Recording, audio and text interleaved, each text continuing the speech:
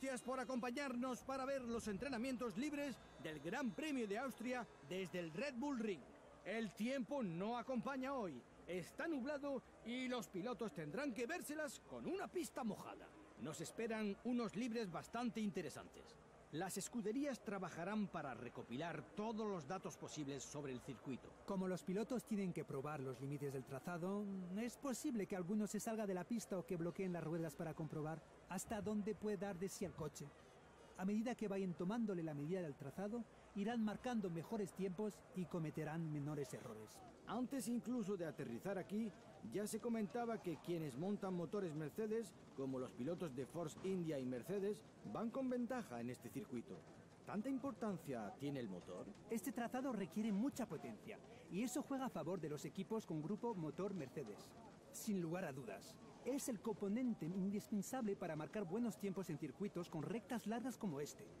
Quienes carecen de esa potencia base tendrán que plantearse reducir la carga aerodinámica. Muy buenas gente, ¿qué tal? ¿Cómo estáis? Soy Deca, bienvenidos al octavo episodio del modo campeonato que tenemos en Fórmula 1 2015 con Fernando Alonso McLaren. Y esta vez estamos en, el, en Spielberg, que estamos en Austria. Y bien, de decir que es un gran premio... Ha sido un gran premio un poco complicado. Ha sido complicado porque venimos de un muy buen resultado en Canadá, una quinta posición, es, ay, perdón, quinta posición, perdón, que digo yo, una tercera posición espectacular con el McLaren y aquí, eh, yo qué sé, o sea, yo aquí ya había visto que el McLaren no iba muy bien.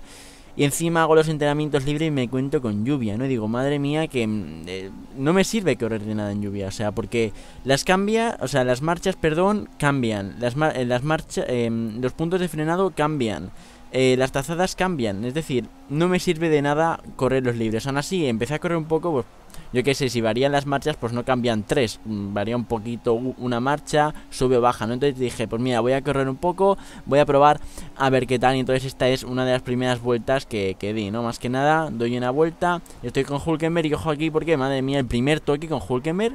O sea, la primera vuelta me doy el primer toque, fallo mío, porque quizá me tiro y luego pues es cuando Hamilton viene por detrás, me vuelve a dar y yo me quedo ahí en medio de la pista, vuelvo a pista y ahora es cuando eh, Edison creo que se da un golpe y madre mía, se pega una hostia de la leche. Así que decido volverme al box. Eh, hubiera reiniciado sesión, pero digo, ¿para qué hacerlo, no? Si total me da igual, no, no reinicio. Entonces em, sigo dando vueltas, vuelta número 3, como veis ahí me coloco en la décima posición, hago una vuelta bastante buena. Y ahora es cuando, bueno, tengo, mm, de Ricciardo, ya veis que en lluvia, a pesar de que la lluvia en parte favorece al coche, como visteis en, en Canadá, en este circuito no, o sea, este circuito veo al McLaren muy mal. O sea, este circuito la verdad es que eh, me desagrada mucho para el McLaren, creo que desfavorece bastante. Es un circuito que la vida real en McLaren no fue nada bien y aquí vamos bastante mal. Digo vamos porque no solo yo, sino mi compañero también va muy mal. Ya veréis los resultados, tanto en libres como en clasificación, que son bastante malos, ¿vale? Ya veis que sufro bastante su viraje, bueno, total, que no me acababa de adaptar al coche en este circuito. Cosa que rara, ¿no? Porque es un circuito que me gusta, es un circuito que me gusta, es un circuito rápido, de, en parte de tiene los dos últimos sectores de bastante carga, ¿no? Que yo pensaba, pues mira, a lo mejor puedo hacer algo, ¿no? Ya veréis que esta curva la hago a veces bien, a veces la hago mal. Y bueno, pues eh, son cosas de carrera, ¿no? Que no todos los grandes premios se dan bien y bueno, pues eh, ya veréis la carrera, ¿no? Como va, yo digo que es una carrera eh, chula, es una carrera emocionante, es una carrera que empieza muy bien, pero ya veréis que poco a poco, bueno, no digo nada más, ¿no? Vais a ver la carrera ahora. Así que nada, pues seguimos dando vueltas. Como veis, bajamos a duodécima posición. Y aquí decido retirarme porque digo, no me no vale la pena que siga dando vueltas, ¿no? Entonces, primero botán, ojo al dato, quinto Verstappen. O sea, Verstappen quinto. Y digo, vale, ¿y Sainz dónde estáis? Sainz estaba ahí. estaba súper lejos, decimocuarto. Y veis que yo quedo decimoséptimo y mi compañero decimotercero. Así que nos vemos en la clasificación. Hasta ahora. Es sábado por la tarde y está a punto de comenzar la clasificación del Gran Premio de Austria aquí en el Red Bull Ring. La jornada de hoy promete mucho. ¿Quién será el más rápido en la clasificación? Hemos sondeado a gran parte del paddock y nadie tiene un claro favorito en mente. Es complicado hacer pronósticos. Yo diría que los Mercedes tienen ventaja sobre el resto, pero no podemos descartar a nadie. Lo más seguro es que tres o cuatro escuderías se disputen hoy la pole.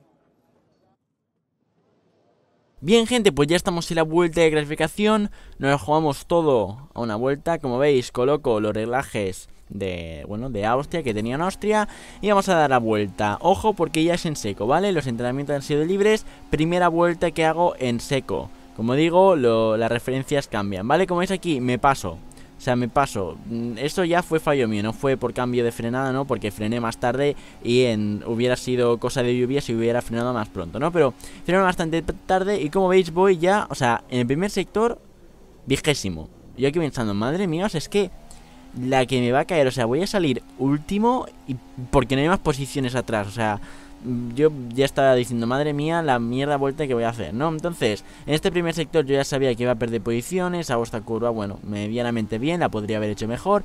Y en el tercer sector ya pensaba, pues bueno, a lo mejor gano alguna posición, a lo mejor no, todo se verá, pero todo será en el tercer sector. Como veis aquí, cruzo un poco el neumático para no salirme fuera, vuelvo a la, eh, vuelvo a la trazada normal, como veis aquí, me vuelvo a, a sufrir un poquito de subviraje, me voy un poquito fuera. Y bueno, es decir que la vuelta mmm, podría haber estado mejor, es una vuelta medianamente buena, pero bueno, que con el McLaren yo creo que podría haber hecho algo, mejor, algo, algo más, ¿no? Entonces, como veis, decimoctavos, parte de la recta, yo digo, vale, ¿qué me posición? Vale, posición, bueno, otra vez, decimoctavo, ¿no? Y bueno, resultado malo. Malo en, en, en, la temporada pasada con el Ferrari que eh, salía, creo que la misma posición salía, o creo que decimos séptimo. O sea, este circuito se me da fatal. O sea, este circuito no hay por dónde cogerlo. Al menos yo, o sea, se me da muy mal este circuito, tengo que admitirlo. Pero como veis, eh, no solo quedo yo último, sino que mi compañero queda por delante mía una posición. Así que vamos a ver la carrera, qué tal sale. Saludos desde Spielberg donde hoy se disputa el Gran Premio de Austria. El circuito es propiedad de Red Bull, por lo que más de uno pensará que esa escudería parte con ventaja. En fin, ya veremos. Lewis Hamilton ocupa hoy la pole después de dominar la clasificación de ayer. Dada la potencia del grupo motor de los Mercedes, pocos podrán plantarle cara a la carrera de hoy. ¿Qué duda cabe de que querrá acabar el fin de semana lo grande después de la fantástica clasificación de ayer? Sin embargo, él ya sabe que será una carrera cara de perro, sobre todo a tenor de los rivales que tiene al lado. Los resultados de Lewis Hamilton en clasificación han estado por encima de los de su compañero Nico Rosberg esta temporada. Los sábados se impone el inglés. Creo que Hamilton ha encontrado el punto débil de Nico.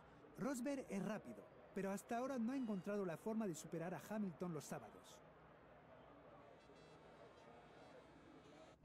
Vale gente, ya estamos en la parrilla, como veis eh, entramos entre la vuelta 8 y 9, cambiamos a duros, salimos decimoctavos, salimos por detrás de nuestro compañero, hemos perdido duelo en clasificación y salimos por delante solo de los dos manos. Como veis, hacemos una salida bastante buena. Fijaros Kvyat, cómo me voy acercando a Kvyat, me acerco, me acerco, me acerco hasta que finalmente acaba él, eh, bueno, es obvio, ¿no? Me acaba ganando la posición.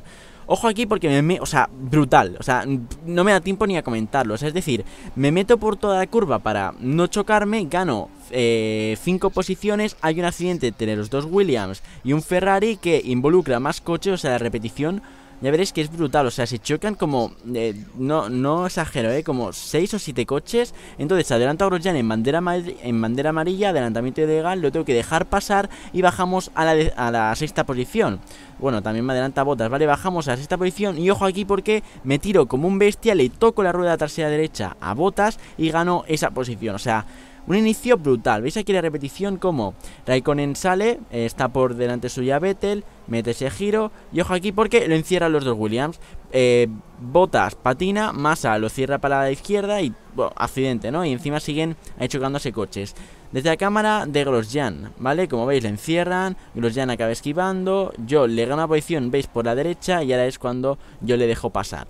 Pasamos a la vuelta número 2, como veis, seguimos detrás de Grosjean, seguimos por delante de Botas, yo aquí estaba cocinando, o sea, ¿qué coño hago sexto si salía decimoctavo? O sea, qué carrera más loca, ¿no?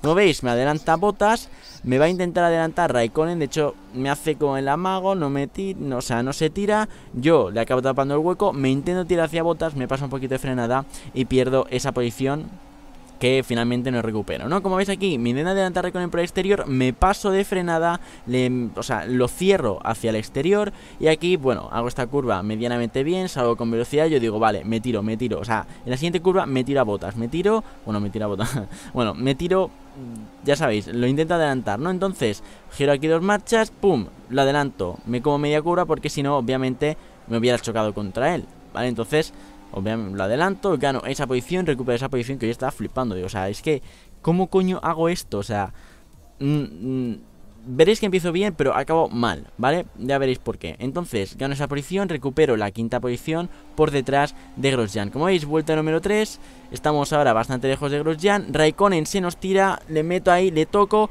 o sea, toca mi rueda hacia derecha con su rueda hacia la izquierda, nos... Buah, es que no, me da tiempo ni, ni, es que ni a comentar, o sea... Hay un accidente ahí brutal que implica bastantes coches, como veis rompo el alerón, los neumáticos están destrozados a pesar de tener tres vueltas y me toca entrar a boxes. Entonces, el plan, vamos a ver la repetición, como veis Raikkonen se me tira, yo me tiro y tengo la mala suerte de que toco o sea, la rueda derecha delantera mía con su rueda trasera izquierda, como veis, buah, es que me cargo el alerón y tuve suerte de que no toqué a Raikkonen porque es que hubiera sido brutal. Como veis aquí pasa Baton y tengo por aquí los dos, a los eh, a los dos Manon y me adelanta Kivian. Entonces, pues decido entrar a boxes, ¿vale? Que bueno, eh, tenía que entrar a boxes. No, no podía seguir con el alerón. Encima estaba al lado de boxes. Digo, pues voy a entrar. Entonces, cambio a, a compuesto duro y cambio a alerón. Entonces, yo aquí pensé en, en, la carrera que hizo Malasia la temporada pasada Vettel, en, digo en, la temporada pasada del juego, eh, cuando yo estaba con Ferrari, que entró en la vuelta número 2 a boxes y acabó tercero con los neumáticos duros. Total, que yo me pongo los duros y aquí digo, buah, es que... De hecho, Hulkenberg estaba vigésimo, no sé por qué, pero total, eh, creo que lo toqué o algo. Entonces yo aquí pensaba, vale, estoy decimonoveno, pero he tocado como a dos o tres coches, o sea, van a tener que entrar. Y yo estaba, estaba yendo a saco con los neumáticos duros. Como veis, adelanta Botas, adelanta a Nasser, perdón, me coloco séptimo ¿vale? Aquí digo, vale, hemos ganado, hemos ganado dos posiciones. Eh, ha sido fallo nuestro, hemos tenido un accidente. Y bueno, hay que. Nos hemos quedado fuera de los puntos temporalmente. Como veis, tengo por delante a Mary que ha pintado a boxes, esta vez, bueno, ya porque toca, ¿no? Vuelta número 9, mitad de carrera, pues la gente empieza a cambiar neumáticos, ¿no? Entonces gano esa sexta posición, o sea, esa, esa posición, me coloco décimo sexto y ojo porque me avisan de que hay bandera amarilla, y yo digo, ¿dónde hay un coche estampado? Y ojo porque me encuentro aquí a Stevens y yo digo, madre mía, o sea, no, me, no lo toqué por cuestión de, o sea, milímetros. Entonces tuve suerte de que Steven iba por delante mía y gané esa posición. Como veis, vuelta número 9, queda la mitad de carrera, posición eh, decimoquinto, es decir que 5 posiciones más y probablemente eh, entre en puntos, ¿no? Massa entra a boxes, que era el piloto que estaba delante mía, entra boxes y aquí llevaba los neumáticos ya bastante desgastados, fijaros el, gráfico, los llevaba bastante desgastados, pero yo los llevaba calientes y la inteligencia artificial con los neumáticos Em, nuevos es bastante mala. Entonces digo, madre mía, o sea, que puedo pillar a, a Massa, perdón, y no solo a Massa, sino a los cuatro pilotos que tiene delante. O sea, aquí tenía un dilema, ¿no? Era o tirar a saco y pillarlos o perder tiempo, o sea, o sea tirar a saco, malgastar los neumáticos y, y me quedan siete vueltas, no pienso volver a entrar. ¿Y qué hago, no? Entonces tenía ese dilema, si tirar a saco y gastar los neumáticos o ir poco a poco y llegar hasta final de carrera, ¿no? Entonces como yo no pienso, cuando estoy conduciendo digo, voy a saco, voy a saco. Y esa vuelta número 13 cuando fijaos cómo tengo los neumáticos y me dicen, entra box. Yo ya estaba, estaba viendo que ya no iba a ningún lado con estos neumáticos. Se iba a perder posiciones. Digo, mira, que es algo que Dios quiera. Estaba a punto de retirarme, de hecho, eh, me iba a retirar, pero finalmente no me retiré. Dije, mira, eh, esto es una carrera.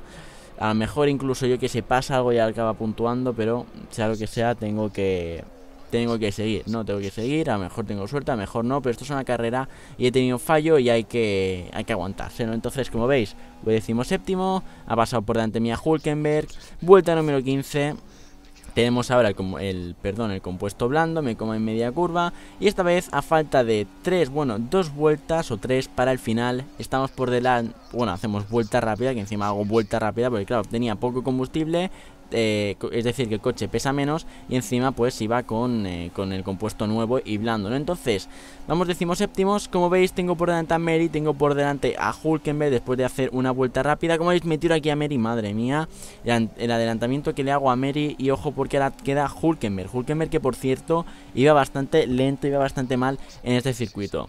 Total, que sigo ahí peleando con él, como veis poco a poco me voy acercando, yo tengo un neumático más nuevo que él, tengo un neumático blando porque él tiene el neumático duro, si no si tiene el duro, él lo tiene gastado, yo no lo tengo gastado, entonces pues eh, decido, no, o sea, lo tiene gastado pero menos, ¿vale? Porque, bueno, es decir, que él ha parado una vez, yo he parado dos veces, entonces, eh, sabes, que yo tengo los neumáticos blandos eh, más gastados y él tiene los neumáticos duros pues también un poco más gastados ya que lleva desde la vuelta 9 o desde la vuelta 10 con esos neumáticos, ¿no? Entonces pues, ojo, ojo aquí porque vuelta número 17 estamos a esta vuelta y otra más para que finalice la carrera y me dicen que Baton abandona.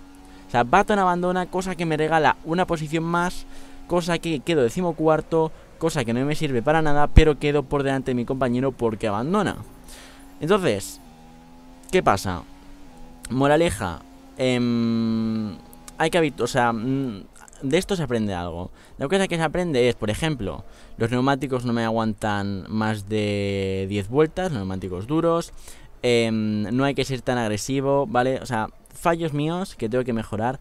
En este aspecto ha sido una carrera que no he puntuado, pero que yo personalmente creo que me ha servido. Así que nada, espero que os haya gustado el vídeo. Nos vemos en el siguiente. Adiós.